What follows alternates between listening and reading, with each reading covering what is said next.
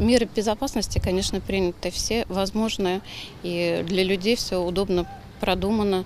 Много точек для голосования.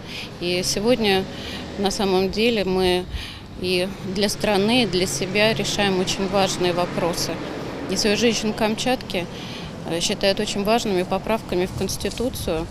Это э, поправка, конечно, семьи и брака мужчины и женщины.